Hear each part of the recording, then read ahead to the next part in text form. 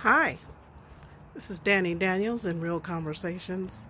I do not know today's date. All I know is we've made a little bit of history. We had a snow day last night. All the snow. Here in the month of May. And I hear that this is the biggest amount of snow that we've gotten in 44 years in the month of May on this day. So that's pretty impressive. I'm gonna sit my glasses in this flower pot. I was asked the other day, why do you take your glasses off when you make videos? I'll tell you why. Because I am nearsighted. So when I hold my phone up in front of my face, it's too close and I can't see. So if I was farsighted, then I wouldn't be able to see. So having my phone up this close wouldn't be a problem. anyway, I have been stimulated so many different ways today that I, I'm not even sure what my talking point will be. But I've gotten used to making these videos because I have some fans. Oh my gosh. I have like three fans, y'all, for real, for real. So I make these videos for for my ladies. Hey, what y'all doing? Another thing they ask me is, um, Daddy, who be there with you when you be making them videos? Because you just be laughing. I, I just laugh. I laugh, okay? Stop judging. Jeepers creepers. Anyway. I love my girl. So what does that? What does this mean? I have like what six fans, and three of them are me, myself, and I. Ooh, hooty hoo! Raise the roof. Anyway,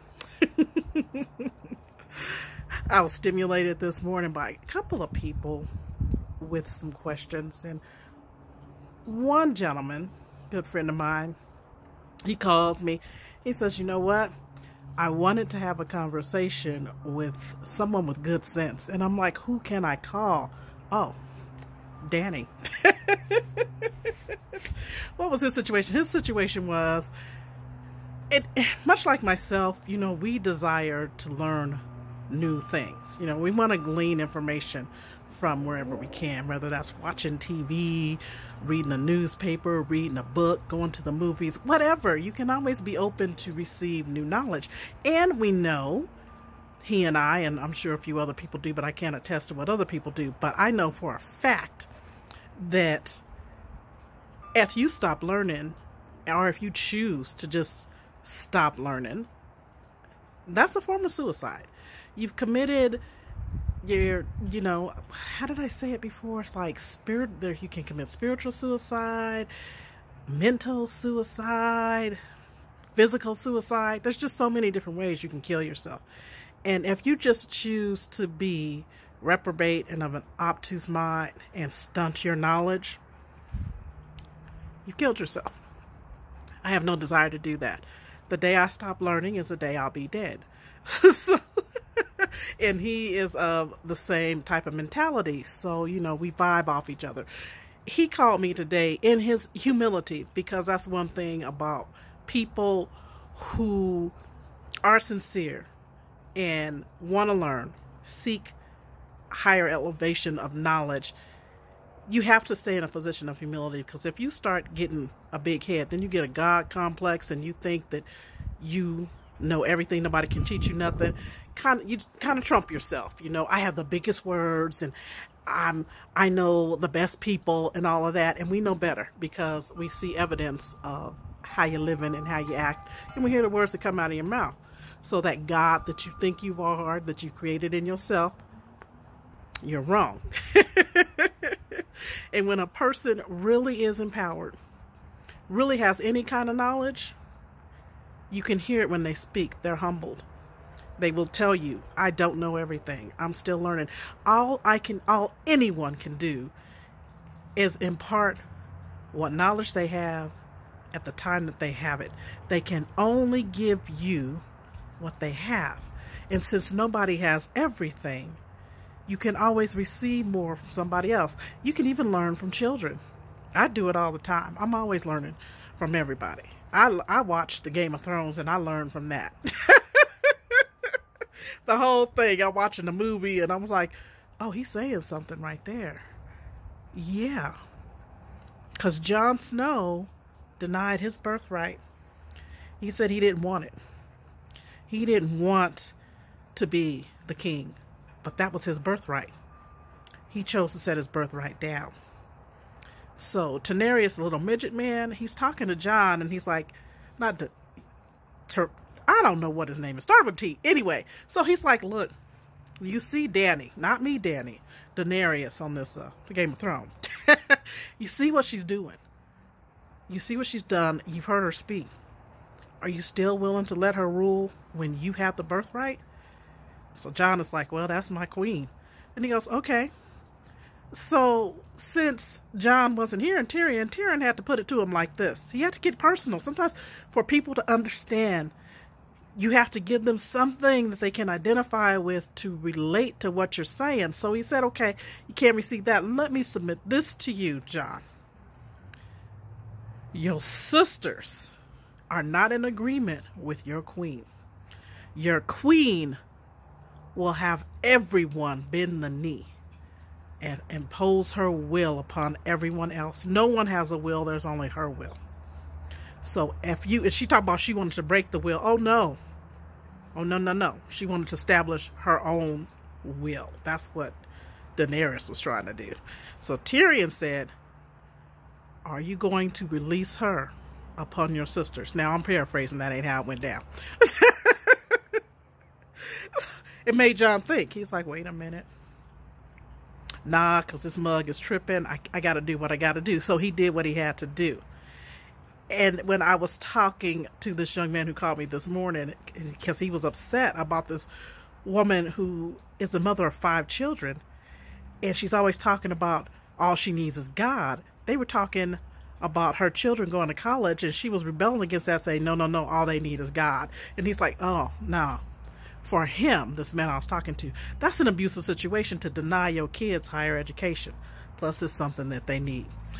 And he was asking me, you know, do you think I was too hard on her? I said, no.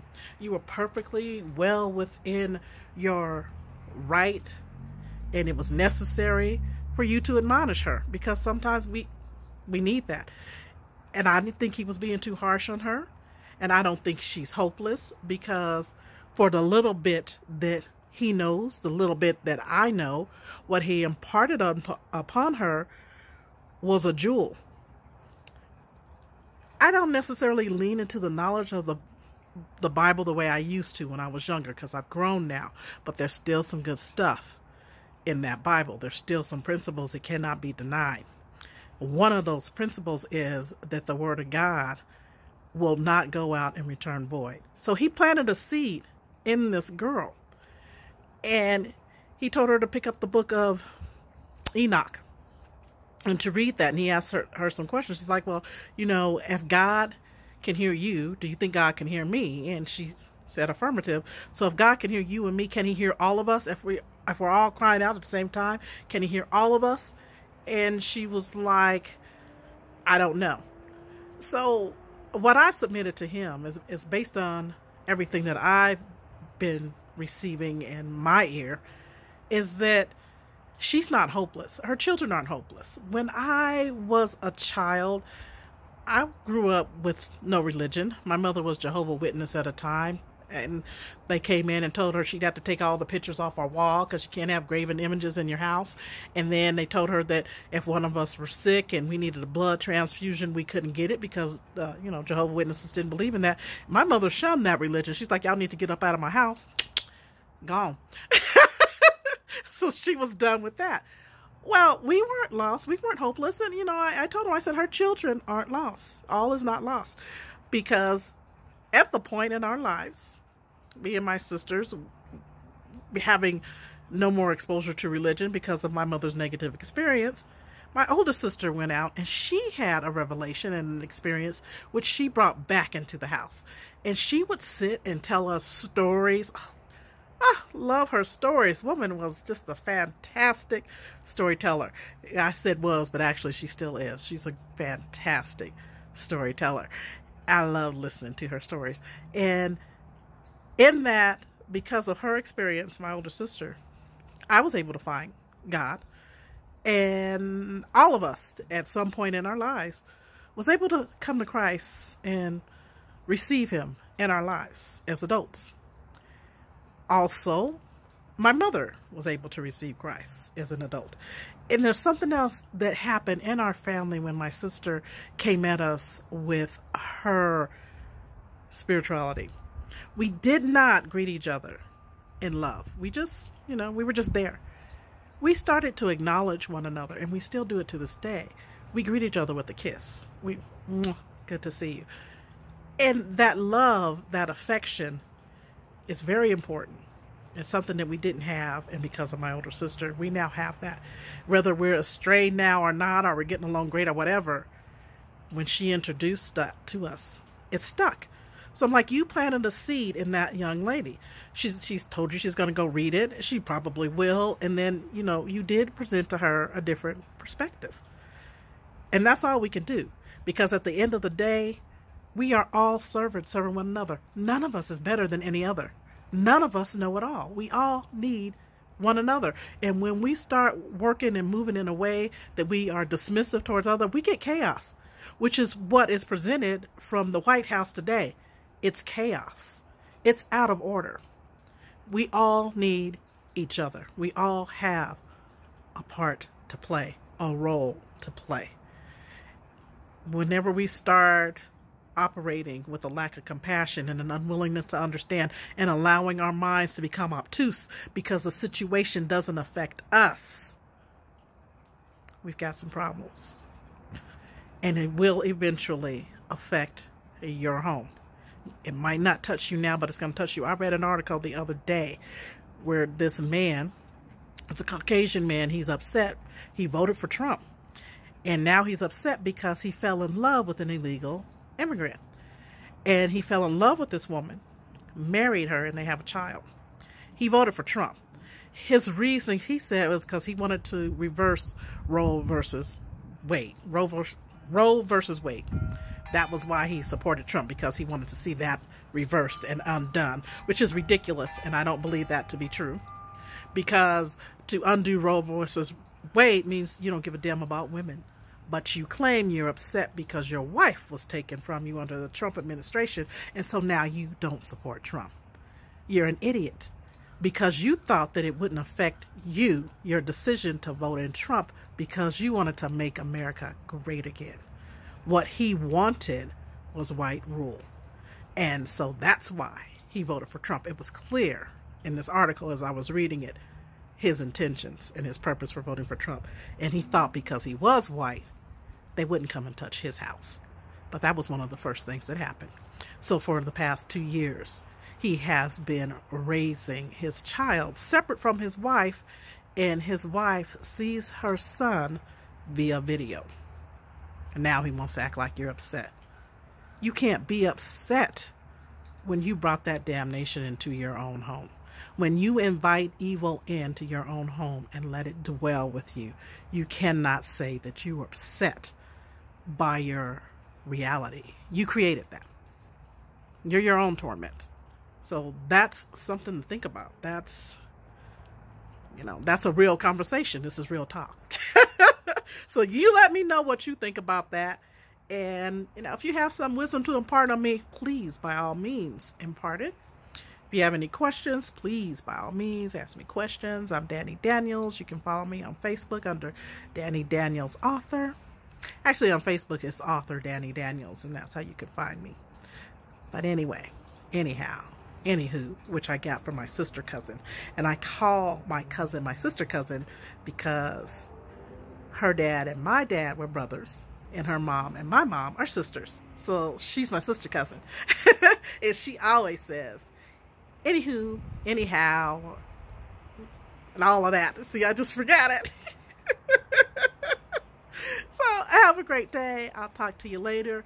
And to my number one, two, three fans, and me, myself, and I, love you. Carry on.